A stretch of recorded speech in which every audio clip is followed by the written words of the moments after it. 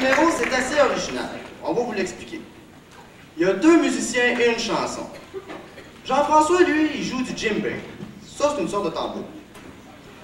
Sébastien, lui, il joue une genre de flûte. Comment je pourrais bien vous expliquer ça? C'est bon. ça. Ouais. Ben, Marc, s'il vous plaît. Non, ça ressemble à ça! Écoutez, le, le principe est très simple. On peut autant émettre un son en inspirant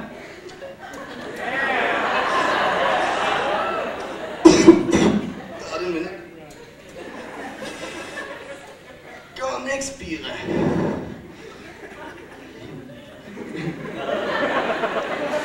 Puis le danseur, lui, fait une genre de danse située entre l'art martial et la danse brésilienne qui se nomme le capoeira.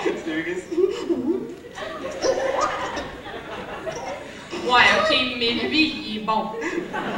Voici Jean-François Beaulieu au djembé, Sébastien Medgar au didgeridoo et Darcy Grand au chant et à la danse.